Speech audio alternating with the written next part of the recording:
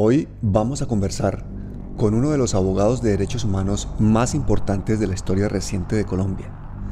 Alguien que nos va a contar en exclusiva hechos sorprendentes que el poder no quiere que sepamos porque incluyen crímenes de Estado.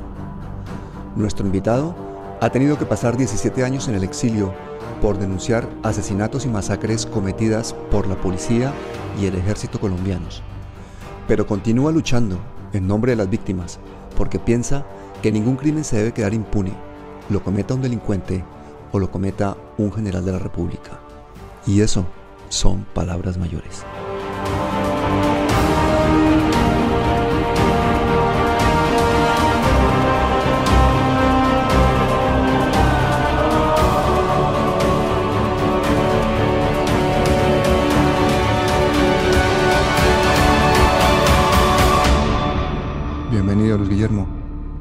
Gracias, Pablo. Un gran gusto estar contigo. Me voy a volver a los años 80, cuando ingresaste a Derecho a la Universidad Nacional. Tú eres de Líbano, Tolima. Y rápidamente al llegar a, a Bogotá, te involucraste muchísimo con el movimiento estudiantil de aquella época, concretamente con la creación del Comité de Defensa de Derechos Humanos. Cuéntame, ¿echaste mucha piedra en la Nacional? Bueno, no, no era mi vocación. En realidad lo que yo hacía con, el, con otros compañeros míos era eh, acompañar esa, esas movilizaciones de protesta para sacar los estudiantes heridos, eh, para hacer las denuncias en relación con los abusos de, de la policía, que, que, en ese entonces eran reiterados y terminaban en, en, asesinatos de los, de los estudiantes. Esto no ha cambiado, ¿no? Ahora vemos... No, no ha cambiado. Hace dos meses mataron a 14 personas en las calles de Bogotá y Soacha. Sí efectivamente, en hechos absolutamente repugnantes que yo me he ocupado en denunciarlos porque me parece que un país que se puede permitir que en pleno corazón de la República se cometa una masacre de esas proporciones sin consecuencias, demuestran dos cosas. La podredumbre absoluta de la institucionalidad. Entonces yo aquí digo, no son, no son manzanas podridas, tenemos gente fabricando manzanas podridas desde la cúpula del Estado. eh, y, una sociedad que no se moviliza con la suficiente fuerza para repudiar una masacre de esa naturaleza. Entonces hay una sociedad indolente por un lado y un, Estado profundamente podrido, que, hace manzanas, fabrica manzanas podridas. Y eso, y eso hay que terminarlos. No, no, no podemos. Bueno, hay una, y una impunidad estructural, porque si la policía es juzgada por eh, la um, justicia penal militar, pues tenemos más de un 95% de casos totalmente impunes, ¿no? Bueno, ese es otro de los problemas históricos, ¿no?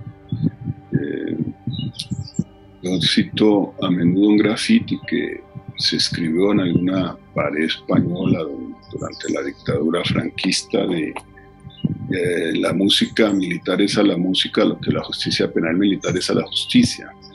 Y la pelea del Cajar toda la vida, mi propia pelea en Colombia y en otros escenarios internacionales, es que jamás crímenes de lesa humanidad ni crímenes de guerra pueden ser investigados, juzgados por los mismos que los cometen. Eso no, no da garantía de ningún tipo. Y algo muy grave, Pablo, es el tema del espíritu de cuerpo. Yo siempre he denunciado ese espíritu de cuerpo, porque nos dicen los que no cometen estos crímenes y que están dentro del Estado, los que no los cometen, los que están, son buenos miembros de la fuerza pública, son buenos soldados, son buenos policías, que los, los hay muchos. Pero cuando se asume el espíritu de cuerpo, eh, toda la institucionalidad termina afectada. Y estas que, que, se dicen buenas personas conviven con esos criminales. Ellos saben quiénes son los que se enriquecen, ellos saben quiénes son los que matan, ellos saben quiénes son los que torturan, pero se callan. Y cuando excepcionalmente hablan, entonces pues los persiguen, les cae todo el peso de la institucionalidad para destruirlos, para sacarlos de, de la fuerza pública.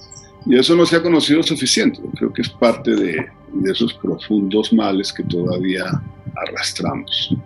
Tú desde los principios en Cajar ya estabas luchando contra los abusos de la fuerza. Corría el año 1987 y a ti los compañeros te escogieron para decir unas palabras en homenaje a Jaime Pardo, a quien acaban de asesinar. te escuchó tu maestro Eduardo Maña Luna y te fichó para el colectivo. Cuéntame cuáles fueron esas primeras investigaciones en Cajar.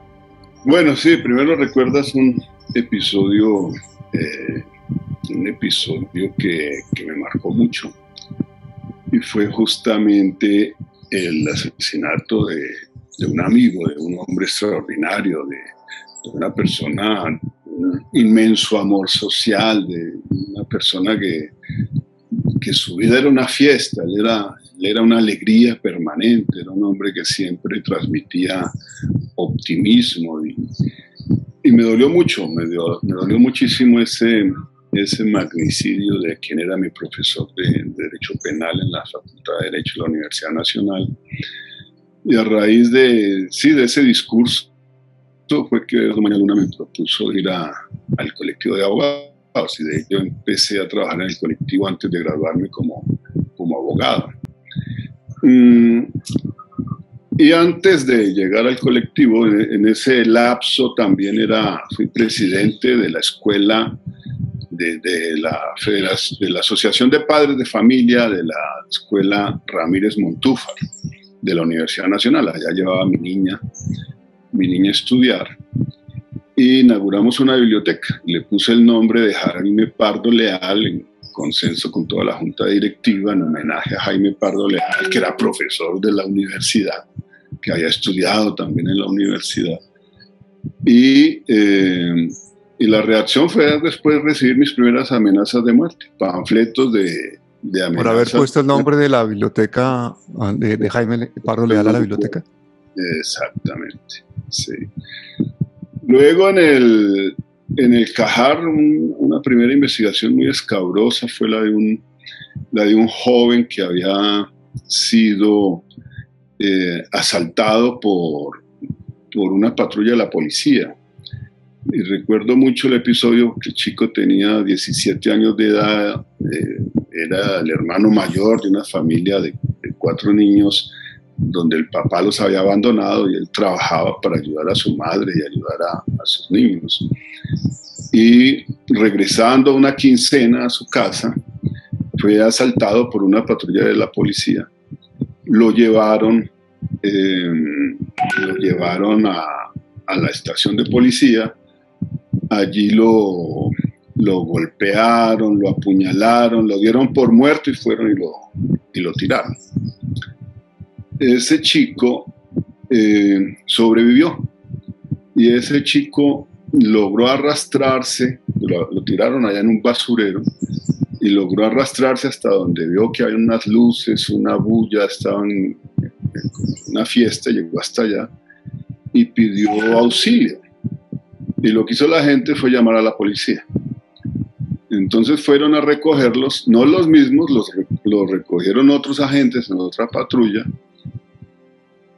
y se lo daron diciéndole a, a, la gente de la fiesta que no se preocuparan, que ellos lo iban a llevar a, al hospital.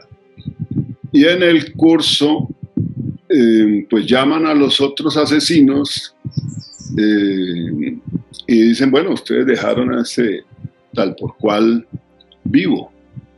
Entonces vuelven y se suben a la patrulla, le meten otras puñaladas, le metieron como 15 puñaladas por todas partes del chico y van y lo, y lo llevan al hospital de urgencias y allá lo tiran. Dicen, mira, aquí le trajemos este herido que recogimos por, por el camino. Eh, ellos se fueron con la certeza de que, de que, el chico estaba muerto. Y resulta que el chico sobrevivió. Y yo representé a ese muchacho y representé pues a, a su madre en el proceso penal. ¿Qué, qué edad lo, tenías en ese momento, Luis Guillermo? Eras muy joven, ¿no? Sí, tendría 23 años, 24 años. Y logré la condena de esos agentes de, de la policía y luego logré que el Estado indemnizara y reparara a, esta familia. Obviamente el chico quedó con, con secuelas y de, de, todas las heridas que, que recibió, pero eso fue uno de los, de los primeros episodios. Eh, Luego algo que me marcó mucho, que fue la desaparición de Alirio de Jesús Pedraza Becerra. Alirio lo, con Alirio fundamos el Comité de Derechos Humanos de, la Universidad Nacional. Y él eh, pues ya trabajaba en el Comité de solidaridad con los presos políticos, pero teníamos una relación muy cercana eh, también con los abogados del Cajar. Y a Lirio lo detienen y desaparecen el 3 de julio de 1990. Em, y empezamos su búsqueda. Todavía lo seguimos buscando, porque nunca, nunca se entregó su cuerpo a, a, su esposa, ni, su hijo sabe dónde, dónde quedó finalmente su padre. Em, pero esa fue una búsqueda de años, una, una búsqueda permanente enfrentándose a escenarios de, de, profunda burla de lo que es el amor por, por un ser humano, ¿no? El, de la amistad, el valor afectivo. Llamaban a la viuda y le decían a la viuda, porque después supimos por testimonios que nunca se judicializaron, sino por esas llamadas telefónicas, de que, bueno, decían, no, lo hemos visto deambulando loco por Pereira. Entonces habría que irse a Pereira a ver si era cierto que estaba deambulando loco. No, que lo vimos deambulando loco por Bucaramanga. Pues había que irse a Bucaramanga a buscar si era cierto que estaba deambulando por Bucaramanga. Y de repente alguien más conmovido dijo, no lo busquen más, eh, porque lo torturó el ejército y eh, se le torturó hasta la muerte y su cadáver fue, eh, fue finalmente mutilado, mutilado en distintos lugares. No lo busquen más. Ese fue un escenario muy, muy dramático para nosotros, ¿no? porque era enfrentarse a un escenario de terror profundo. yo recuerdo que Alirio se armó, se compró él un, un revólver. Yo dije, no, pues con ese mismo revólver me mata, me matan a mí. yo lo que decidí fue ponerle, tenía mi primer carrito que era un Renaultcito 4, yo le puse un, un seguro por dentro, por todas las puertas para que no lo pudieran abrir en caso de, en caso de que quisieran desaparecerme, porque la idea, el susto no era de que me mataran, el susto era de que me desaparecieran. Eso fue años muy, muy duros. Y sí, no, nos enfrentamos a eso. Eran principios de los 90, ¿no? En esa época también te tocó el caso de las masacres de Río Frío en Cauca o la red de exterminio de la Armada en Barranca Bermeja, esta última que habían matado como a 70 personas, ¿no? Sí, no, empezamos, el, el caso de Río Frío lo, lo, documentó a fondo y escribió un libro sobre eso, sobre la red de la Armada Lirio. ¿Cómo se llama, perdón, el libro? la, la, red de la Armada 07, que se llama. Eh, Alirio lo escribió, Alirio lo, lo, documentó. Yo conocí, pues y acompañé parte de ese, de ese proceso porque conocí toda la historia de los, de los suboficiales de la Armada que denunciaron a, al almirante Rodrigo Quiñones, que eh, pues sigue gozando de, de impunidad pero eran sus propios hombres, que dijeron él fue el que nos ordenó ir a, ir a matar a esas personas. Luego yo agregué otro testimonio de, una indígena eh, de los Montes de María que, él la puso a trabajar para él y que la, secuestraron prácticamente, pues siendo una, una niña de 12 años, la utilizaron para que le sirviera de guía a las operaciones de la Armada en la, en la región. Eh, luego terminó viviendo con, con, uno de estos tipos que trabajaba para la Armada, eh, pero secuestrada. La, secuestrado, la secuestró en su apartamento en Cartagena, la, la violó, tuvo dos niños eh, con, esa, con ese personaje que solo resultó muerto, preso, perdón, cuando Bill Clinton fue a Colombia y eh, algún problema había tenido con, con, algún oficial de la Armada y lo culparon a él de querer atentar contra Bill Clinton. No sé si te acuerdas de la historia, porque eso fue no, muy, no, no sabía fue, fue, muy conocida, porque un gran escándalo que sí descubren personaje que... Un almirante de nuestra Armada intentando atentar contra Bill Clinton. En que iba a atentar contra Bill Clinton. Entonces, a raíz de que lo detienen, esta chica, bueno, ¿cómo sometieron a la niña, a esta, a esta indígena, que después le, le, hacen dos hijos. Eh, la sometieron obligándola a drogarse. Ella tenía que, consumir cocaína si quería comer. Entonces la, la, convirtieron en una, en una adicta, de tal forma que no pudiera tener, tener voluntad. Pero ella describía a Rodrigo Quiñones, todos los crímenes de Rodrigo Quiñones y cómo torturaban a la gente, eh, cómo enseñaban a torturar a los paramilitares, de, las cosas más espantosas del mundo. Y ella asistió a todas esas escenas, ella las, vivió y en medio de todo ese dolor, pues termina luego secuestrada y teniendo estos hijos encerrada. Es un testimonio contra Rodrigo Quiñones muy, muy impactante. Luz Estela Valdés se llama la, la chica, ahora la puedo mencionar porque no vive en Colombia. ¿Y Rodrigo Quiñones fue condenado? Y Rodrigo Quiñones nunca fue condenado, nunca fue condenado. Llegó Luis Camilo Osorio a la Fiscalía General de la Nación y desapareció todas las pruebas que habían contra, contra, contra Rodrigo Quiñones. Ese es otro personaje siniestro que le, que le ha hecho un daño profundo a la, la justicia en Colombia, la democracia en Colombia, la vida en Colombia.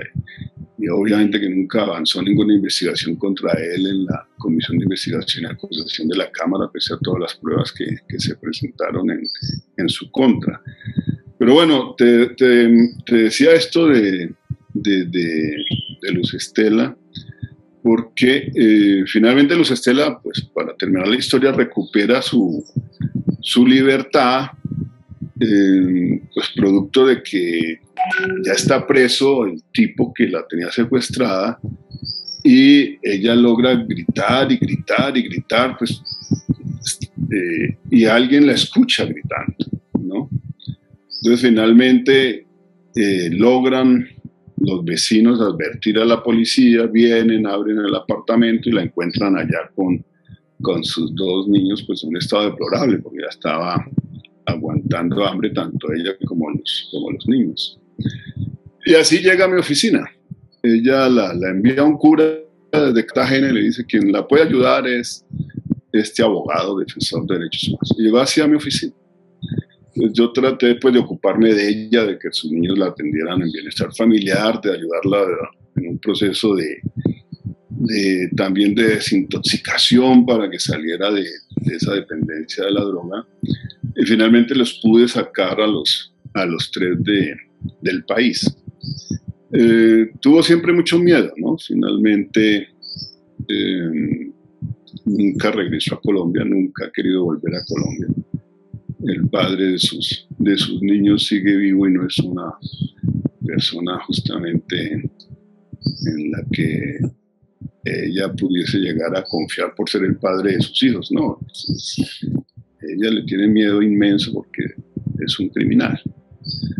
Pero bueno, volviendo a ese, a ese tema, ¿no? Em, los, los suboficiales de la red de la Armada fueron a su vez asesinados. Los que denunciaron a, a Rodrigo Quiñones terminaron asesinados en sus sitios de, de reclusión.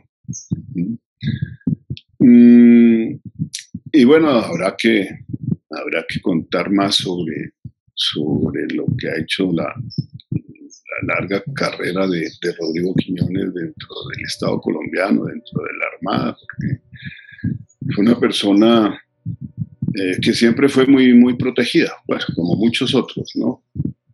Yo la, la, hipótesis que he tenido es que la manera de ellos asegurarse la, la impunidad es de eh, nombrar en los altos cargos de responsabilidad militar o de la policía a personas que no tengan justamente una hoja de vida transparente.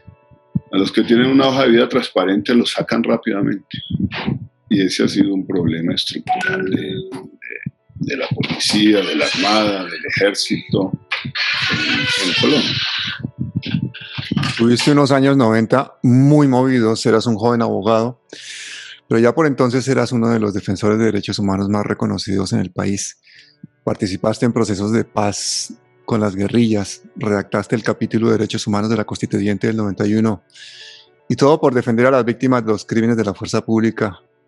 Y eso al final te cuesta el exilio.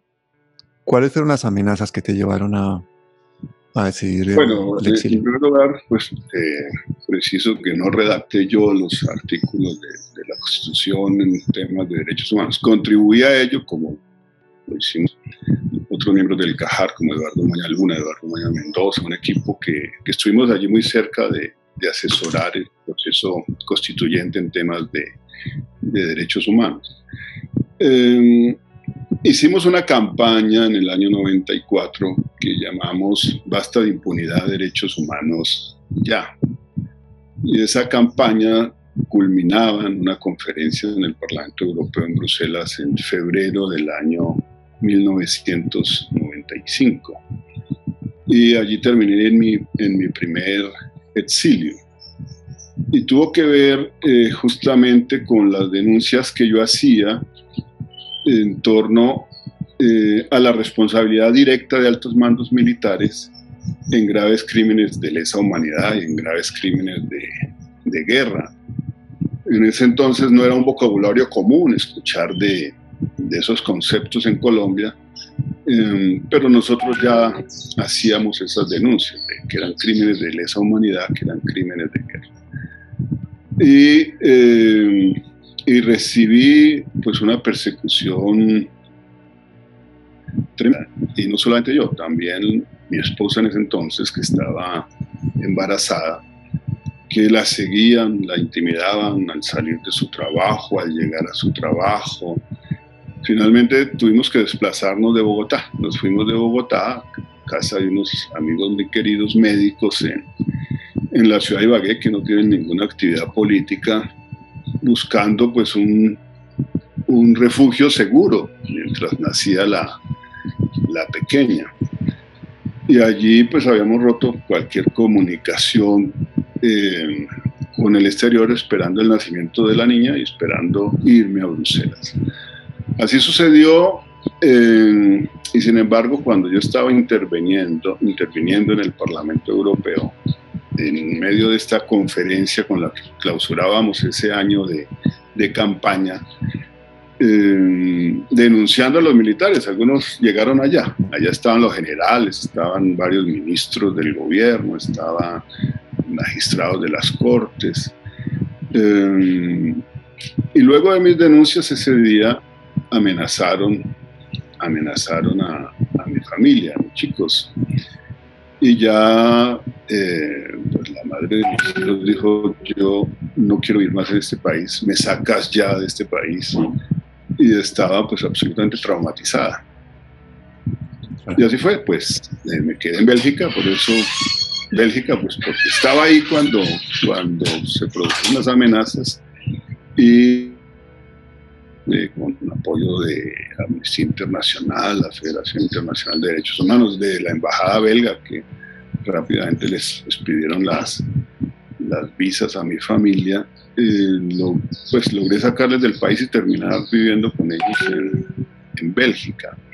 Pero yo iba también con otro gran amigo mío, Josué Giraldo Cardona yo hablaba de los crímenes que cometía el, el Estado, los el ejército directamente, y José hablaba de los crímenes de los paramilitares, y en particular de Víctor Carranza del proceso 019, que era todo un, un drama horrible de asesinatos que enlazaban todos al ejército, a la policía, al señor Víctor Carranza, que compraba militares, que compraba agentes de la fuerza pública, eh, pero también compraba jueces.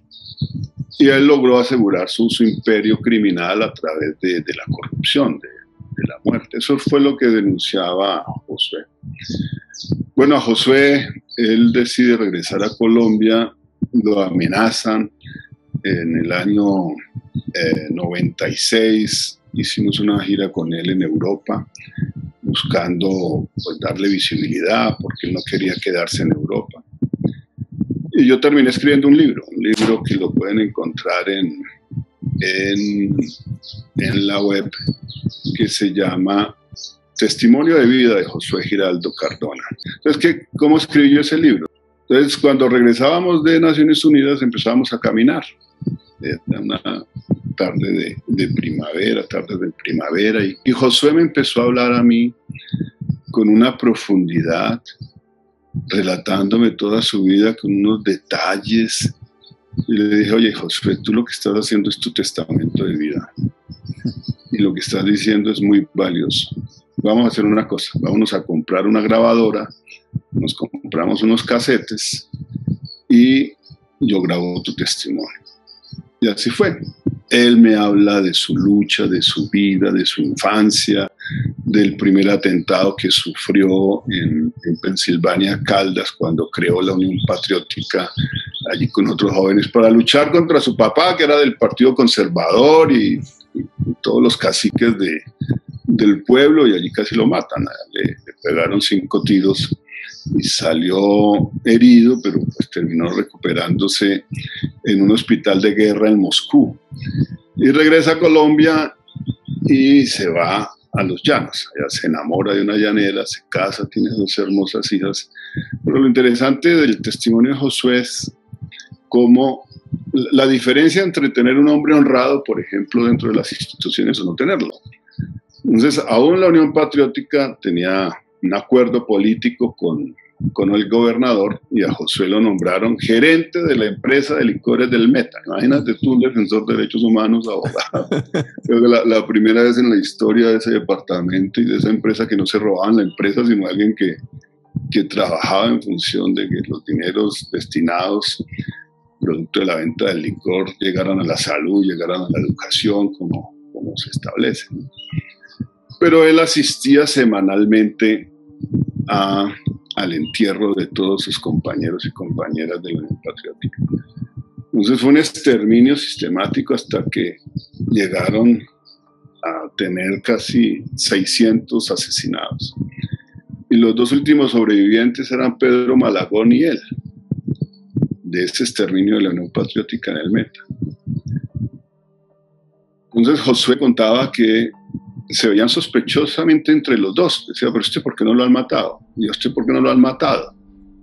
¿No? Como si sobrevivir fuera una culpa porque te hacía responsable de estar con, eventualmente con los criminales porque tú estabas sobreviviendo. O sea, una, un, un estado psicótico terrible de lo que, de lo que implica ese exterminio bueno, incluso para los mismos colombianos sigue siendo difícil de creer que todo un partido político de miles de personas, incluidos todos sus dirigentes y dos candidatos presidenciales, hayan sido exterminados sistemáticamente en Colombia.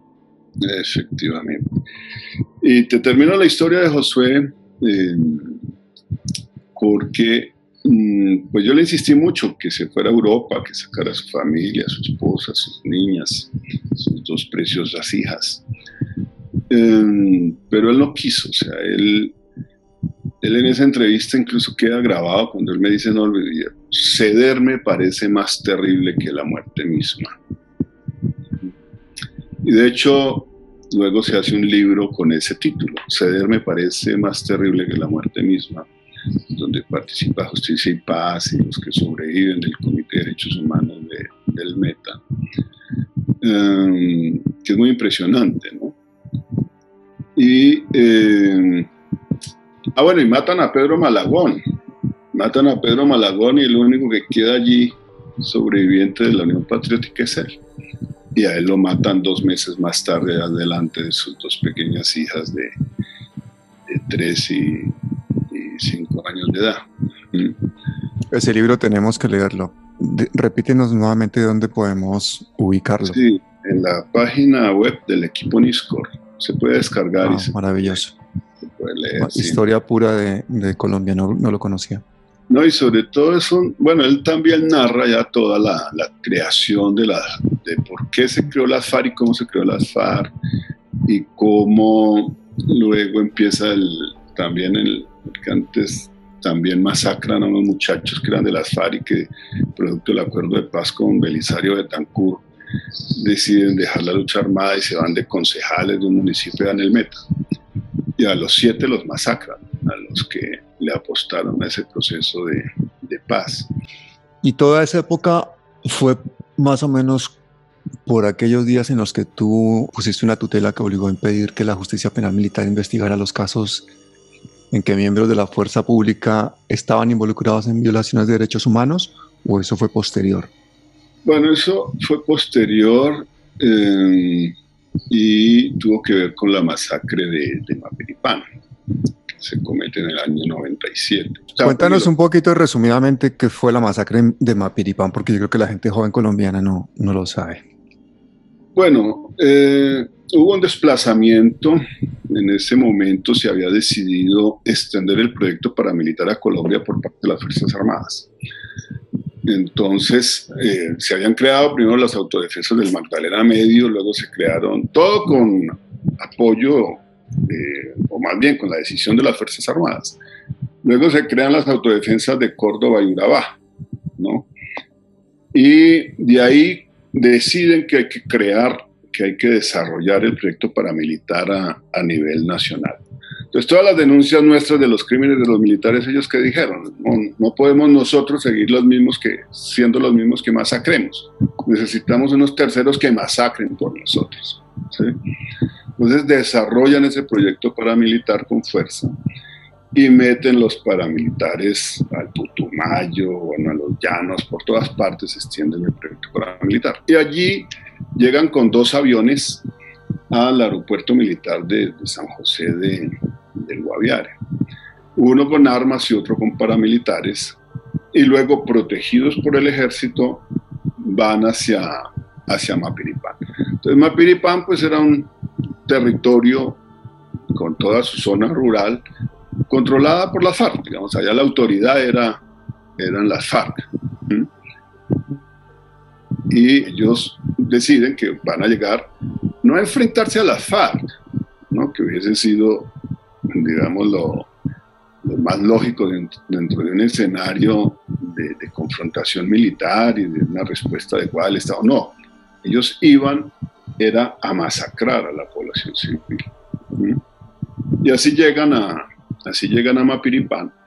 Incluso, pues, están todos los testimonios también de los militares, de eh, cuando la FARC intentó reaccionar para atacar a los paramilitares, quien protegió en un anillo de seguridad a los paramilitares fue el propio ejército, bombardeando, enfrentándolos para impedir que, que los paramilitares pudieran tranquilamente eh, seleccionar a sus víctimas, decapitarlas, descuartizarlas, tirarlas al río. Y es una coordinación total y absoluta entre el ejército y los paramilitares. Sí, no, total, total. Eso fue entre el 14 y el 20 de julio de 1997. Eh, inclusive, la, la ceremonia del 20 de julio, la cúpula militar, está con militares argentinos y con militares norteamericanos. Ese 20 de julio lo conmemoran allí en, eh, en, San José del Guaviare, sabiendo pues todo lo que acaba de pasar. Llega ya toda la cúpula militar a conmemorar ese, ese 20 de julio. Entonces, bueno, nunca supimos realmente cuántas víctimas fue. La fiscalía llegó a establecer que habían sido 75, 75 las, las víctimas, eh, pero nunca se supo realmente. El tema es eh, que este proceso en la justicia penal militar en que termina, que condenan al general Uzcategui a 40 meses de prisión y condenan al coronel Orozco Castro a 36 meses de, prisión. Entonces, con la tutela yo logro tumbar ese proceso en la justicia penal militar. Los militares, pues obviamente se molestaron muchísimo. Han hecho semejante pantomima de, de proceso para que se les cayera. Entonces termina Uzcategui eh, preso y por cuenta de la justicia ordinaria.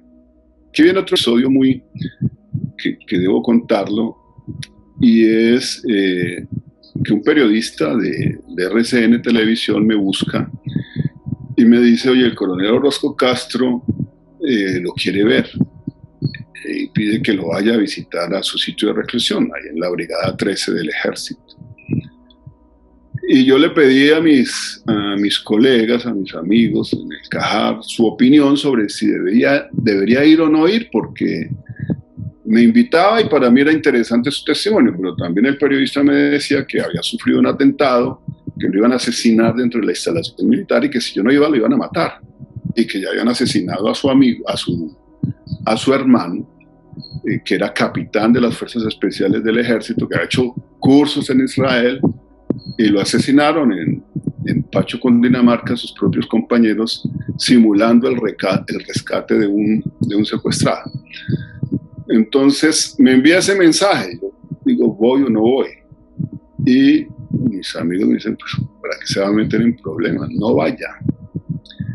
Y yo con, esa, con ese complejo de conciencia dije, si lo matan, yo no voy a poder dormir el resto de mi vida tranquilo si yo no intento saber si, si le puedo ayudar a salvar su vida y escuchar su testimonio. Entonces finalmente fui. Fui y y me fui en un carrito blindado viejo que habíamos comprado. Metí a mi carrito blindado, iba con, con un noruego de Brigadas Internacionales de Paz que me acompañaba. Y sí, él salió, me recibió y nos, nos metimos allá en, en las instalaciones del club de oficiales, en una habitación donde él dormía y allá me contó pues lo que nosotros ya sospechábamos, digamos, todo lo que habíamos dicho de las relaciones del ejército con los paramilitares. En ese momento no había una sexta división del ejército.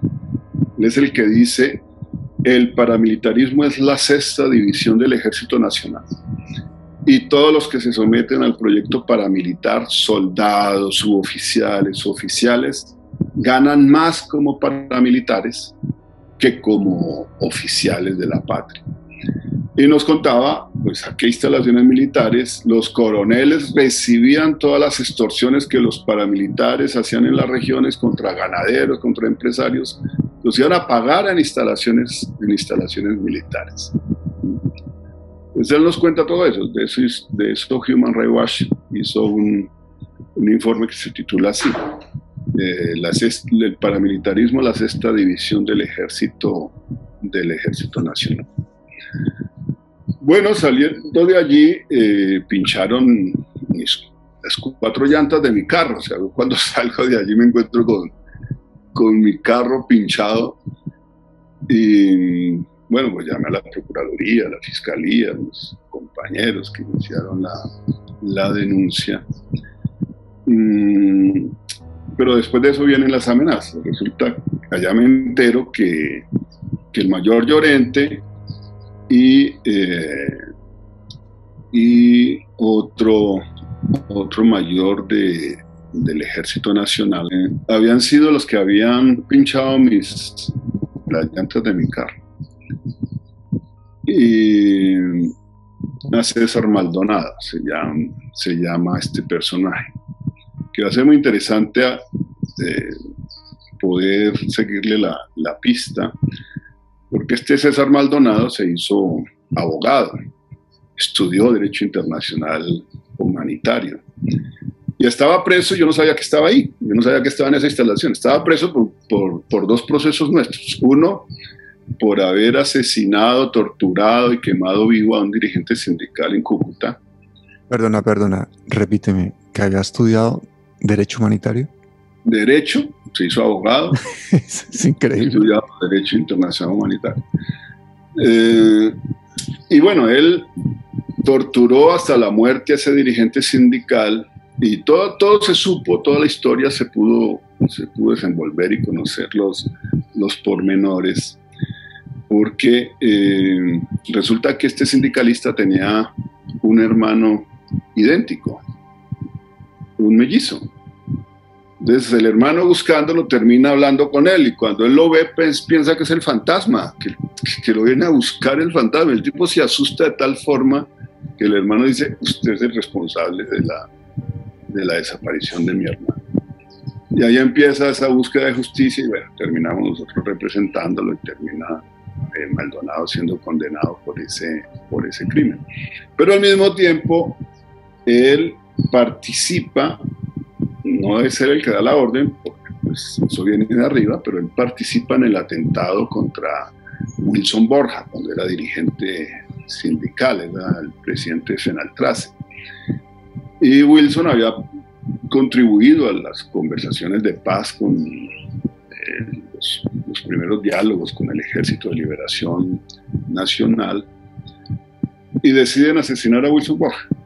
Él y con paramilitares eh, que, vienen del Magdalena Medio, él crea esa estructura para matar a Wilson Borja. Recuerdan que asesinan a la señora de los tintos, que tenía un puestico ahí en una esquina por la calle cerrada donde se, llegaba, se llevaba el conjunto donde, donde vivía Wilson Borges. ¿Por qué matan a la señora? Porque la señora reconoce a uno de estos, de estos paramilitares porque eran del mismo pueblo.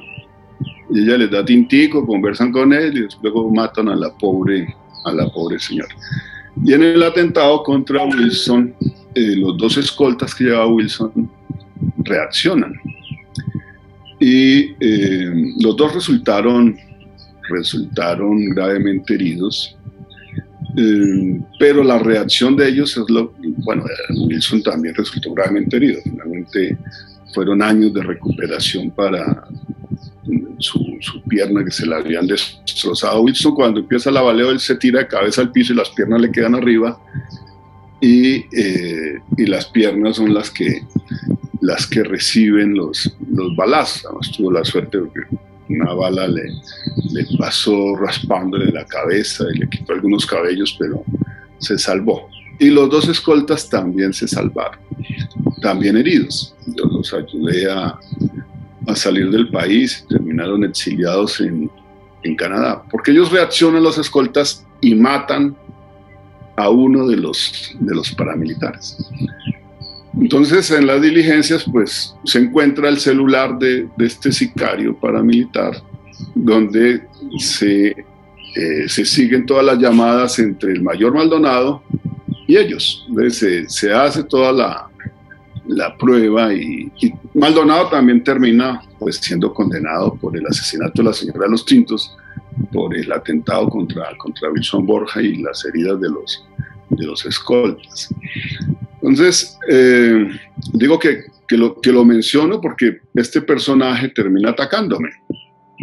Les dice que yo fui, que yo fui no no hablar con, con, Orozco Castro, que yo fui a amenazarlo a él de muerte allá en la instalación militar. Y coloca una denuncia penal en contra mía y luego publican afiches en, toda la, en todos los juzgados, tribunales, afiches a color donde me muestran a mí como si yo fuera el eh, el que manejaba las finanzas del Ejército de Liberación Nacional en Ginebra y en Bruselas. Pues como yo iba a Bruselas y como yo iba a Ginebra, entonces concluyeron que yo manejaba los recursos del ELN a través de cuentas bancarias en esos, en esos países. Y bueno, y después la, persecución también se, se, se, profundizó en relación con esos, con esos hechos. Pero bueno, vuelvo al tema de, de lo de la sentencia histórica que mencionas de la Corte Constitucional siendo ponente Eduardo Cifuentes Muñoz. Es histórica porque él va a reconocer algo que no se había reconocido antes, el deber de garante del Estado. Él va a decir, eh, el señor Buscate Ramírez tenía un deber de garante de protección de la población civil y, eh, y faltó ese deber de garante. Entonces hay responsabilidades por omisión. Sí, y es, es, muy importante ese, ese criterio, pues porque también va a elaborar ah, con mayor profundidad el tema de los crímenes de, de lesa humanidad y dice, nunca puede ser competencia de la justicia penal militar un crimen de lesa humanidad. Es, eso abre la puerta a que muchos casos puedan llegar a la, a la justicia ordinaria. A pesar de esa sentencia, ¿por qué en los años siguientes se han seguido produciendo tantísimos crímenes de Estado? ¿Y por qué no son juzgados por la justicia ordinaria casos tan, tan sangrantes, digamos, que han sucedido en los últimos 20 años en Colombia?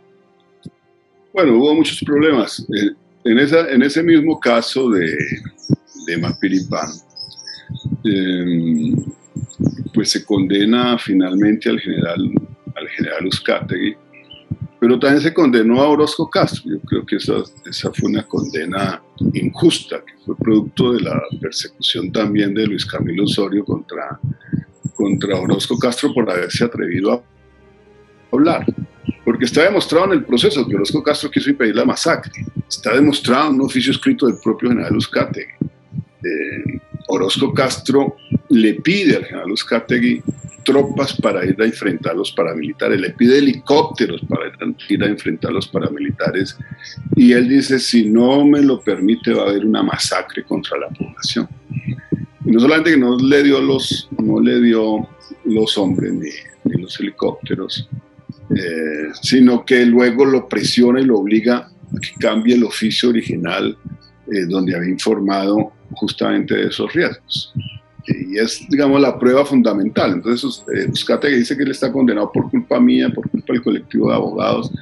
No, él está condenado es por culpa de, ese oficio, que ese oficio muestra que efectivamente él fue conocedor de, que se estaba a punto de perpetrar una masacre y no hizo absolutamente nada para, para impedirla. Claro, que no es el único responsable. Uzcategui, digamos, en ese momento era el comandante de la séptima brigada, pero por encima de él pues, estaban todos los que, los que contribuyeron a ese desplazamiento de los paramilitares desde el Urabá, donde no tenía jurisdicción, para que llegaran a, a una zona bajo su, jurisdicción. Pero todo eso había sido pues preparado en esa estrategia de despliegue paramilitar a nivel nacional. Y a raíz de eso se van a crear las Autodefensas Unidas de Colombia. Recuerda que Carlos Castaño en una entrevista radial, eh, porque lo podían entrevistar en directo, ¿no? Entonces, Carlos Castaño en una entrevista radial dijo, habrán mucho más mapiripanes en Colombia. Para advertir pues todo ese, ese reguero, derrame de, de sangre por todo el, el país. Bueno, en eso, en eso concluye el tema de, de Euskate, que yo seguramente va a ver esta entrevista, yo cada vez que tengo la oportunidad le recuerdo, él está libre ahora por cuenta de la JEP, pero yo le he dicho, diga la verdad, o sea, no llega allá a decir yo soy inocente y el culpable es el colectivo de abogados y que las falsas víctimas, y que no diga la verdad, diga lo que pasó, cuente qué fue lo que pasó y usted limpia su nombre. Y usted dice que por encima de usted habían otros comandantes del ejército que lo obligaron a hacer eso, que lo llevaron a usted a hacerse parte de, de, de, esa, de esa expansión paramilitar y de, y de esa masacre. Pida, pídale perdón a las víctimas y, terminarán la libertad. Pero si insiste en mentir, pues lo que puede pasar es que le cambian su condena de, de 40 años y le ponen una condena de 20 años. Entonces, lo que lo, a lo que lo llamo es a eso, a que diga la verdad. Él alguna vez en una entrevista para, para Cambio, le sacan una grabación en Cambio, donde él está hablando con el general Mora Rangel. Y le advierte al general Mora, general Mora, si no me ayudan con este tema, lo de la masacre de Mapiripán, pues recuerde que yo sé muchas cosas. Entonces, hagámonos pasito, le advierte al general, general Mora, que era el comandante del ejército, hagámonos pasito, general Mora. Yo le digo, bueno, pues es hora de que, de que hable, de que hable por el bien de las víctimas, por el bien de la, del país, eh, por el bien del propio ejército nacional, porque esas cosas no tienen que, que volver a pasar. ¿Qué pasó contigo en, en, esa época? ¿Qué pasó con, con tu vida? Bueno, eh, hubo, yo tuve que salir al exilio, eh, como te conté, en el año 95. Luego, luego asesinan a Eduardo Maña Mendoza el 17 de abril del 98. Yo estaba en Naciones Unidas cuando lo asesinaron. Yo había recibido información por denuncias que él mismo había hecho de que de que la inteligencia militar lo iba a matar. Y por los casos que él llevaba, llevaba el caso del Palacio de Justicia, ¿no? entre, entre muchos otros casos de relevancia nacional. Y yo hice la denuncia a Naciones Unidas. Yo dije, lo asesinó el Estado colombiano, lo asesinó el ejército colombiano. Y ese mismo día que yo hice esas denuncias, eh, amenazaron a, a, mis hijos a través de, de, una llamada telefónica. No estábamos en casa, porque no sabíamos, yo estaba con mi familia, eh, mi esposa y mis hijos estábamos en, en Suiza, estábamos en Ginebra. Mm, pero habíamos dejado una, un aparato de esos que se usaban, ¿no? Con, con fax y con respondedor y con grabadora. Es una mujer deja un, un, mensaje allá grabado diciendo que sabe dónde van a estudiar mis hijos, que la mujer habla el nombre de las mafias, no habla de una mafia en particular, habla el nombre de las mafias. Eh, Pérez Casas nos ha hecho mucho daño y sus hijos van a pagar por ello. Entonces, ese día yo decidí que regresaba a Colombia. Dije, ya, pues aquí no hay nada que hacer, aquí me van a seguir persiguiendo, van a, también afectar a la seguridad de mis hijos. Entonces, eh, en enero duré preparándome varios meses mi regreso y en enero del 99 regresé a Colombia y, renuncié a ese, a ese exilio. ¿Y qué decía una carta que le enviaste por aquella época a Álvaro Uribe y a, Juan Manuel Santos? Ah, bueno, esa fue otra carta. En esa hice una carta, en casi en los mismos términos que luego le voy a elaborar a Santos y a, mm. y a Uribe Vélez, eh, pues dirigiéndome al gobierno y diciéndoles, bueno, yo llego tal día y llego al aeropuerto y si me quieren matar, me, matan, pero no se metan con mis hijos, no sean cobardes. Luego, ah, bueno, ya cuando decido regresar en el 2010, es también que vuelven a amenazar a mis hijos. Yo tuve un debate en el Parlamento belga, en el Parlamento Federal belga, con Felipe Muñoz, que era el director del DAS el último director que tuvo el DAS hasta su desaparición. Y en ese debate, pues yo estoy denunciando todos los crímenes que el DAS comete. Y digo, y ustedes lo siguen cometiendo. Y yo le dije, y ustedes siguen haciendo labores de inteligencia en contra mía. Y Felipe Muñoz no negó que estuvieran haciendo inteligencia en contra mía, ni negó que el DAS cometía crímenes, sino que se, se dedicó a relatar todos los crímenes que el DAS había cometido antes de, de llegar Uribe Vélez a, a gobernar, implicó al DAS en varios magnicidios y, luego acepta que este DAS que él dirigía sí seguía haciendo acciones de inteligencia en contra mí. Yo le pedí a Reinaldo, era el presidente del colectivo en ese momento, Reinaldo y Alba, le dije, Reinaldo, por favor, presenta un derecho de petición dirigido al señor Felipe Muñoz eh, justamente sobre estas declaraciones que he hecho aquí en el Parlamento Federal, que además están grabadas. Y él acepta, ¿no? Él acepta la respuesta que están haciendo labores de inteligencia en contra mía, en contra de Piedad Córdoba Ruiz y en contra de Claudia Julieta Duque, que seguían haciendo labores de, de inteligencia.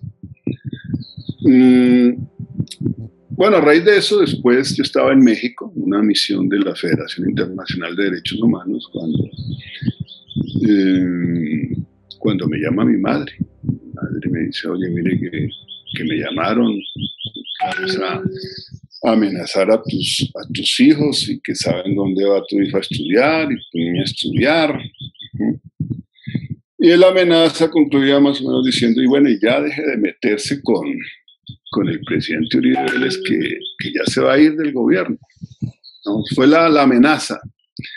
Entonces yo concluí pues que eso tenía que ver con, con la visita de, de Felipe Muñoz a, a, Bélgica y decido que, que regreso a Colombia. Entonces eh, el colectivo me, me, recibe como siempre generosamente, regreso al colectivo de abogados, le escribo esa carta a, a Uribe y a, a, Juan Manuel Santos, pues donde anuncio que, que me voy a dedicar a, a buscar que los responsables de esos crímenes eh, respondieran. Pero hoy tenemos una juventud que, que no traga entero, Pablo, de, gente que, que, se moviliza.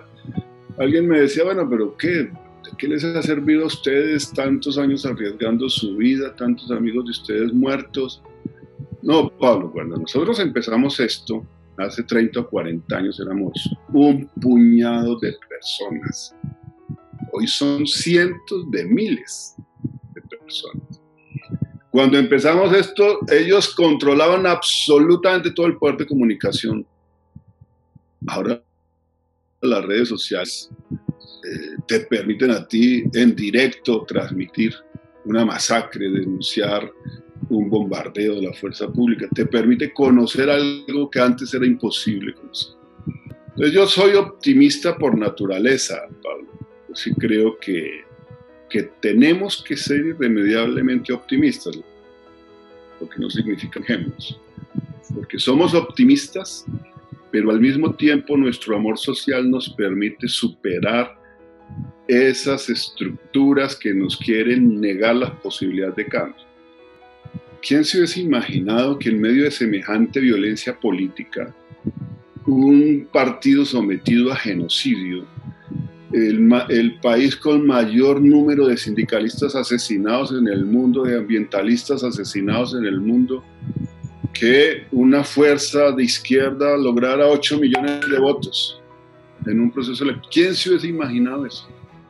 Cuando justamente el exterminio de los dirigentes sindicales, políticos, populares, tiene como motivo el causar tanto terror que la gente no, no apueste por esos cambios.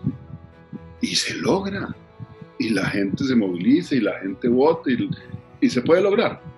Y yo estoy ahí en el Consejo Nacional Electoral justamente para evitar que, que nos roben las elecciones en el 2022. Que eso no pase más. Yo les digo a toda la gente que trabaja conmigo en mi despacho, el día si me llegan a matar no me lloren, hagan una fiesta porque habré vivido lo suficiente con el gozo de estar haciendo lo que tengo que hacer cotidianamente. Hagan una fiesta y continúen ustedes mi lucha, pero no nos sintamos víctimas. Digamos, es, es nuestra opción. Yo siempre he rechazado la lucha armada, nunca he querido tener armas en mi defensa eh, personal, pero creo que, que sí hay una fuerza espiritual que me acompaña. Creo que hay una fuerza muy grande que me acompaña. Yo creo que uno puede seguir eh, teniendo un impacto transformador muy grande, siendo uno coherente en su vida, coherente en las más pequeñas cosas, coherente en las, en las cosas que, que te unen a los tuyos, con la gente con la que trabajas con la gente a la que amas. La vida es un milagro extraordinario, pero mientras estemos vivos, hagamos lo que tenemos que hacer. Si cada uno hace lo que tiene que hacer, tenemos la certeza de poder transformar esta humanidad. Luis Guillermo, yo creo que cualquier persona que haya escuchado esta entrevista, le queda claro que gracias a personajes como tú, como Alirio Uribe, como Eduardo Maña, es que nos va quedando algo de esperanza. Porque personas como tú ayudan a escribir una de las, de las páginas valientes y brillantes de la historia reciente de Colombia. Y esperamos que puedas seguir haciéndolo. Pero esta vez yo creo que tu lucha no va a ser tan solitaria. Creo, creo que ahora tienes el apoyo de millones de colombianos que están hartos de tanta guerra, de tanto despojo y de tanta corrupción. Luis Guillermo Pérez, muchísimas gracias por tu generosidad, por tu tiempo y por tu esfuerzo. Hasta siempre. gracias, gracias a ti por, esta larga entrevista. Hacía mucho tiempo no daba una entrevista de estas dimensiones ni de esta profundidad, así que muchas gracias, Pablo. Un gran abrazo para ti y para todos los tuyos. Gracias a ti. Estamos en contacto.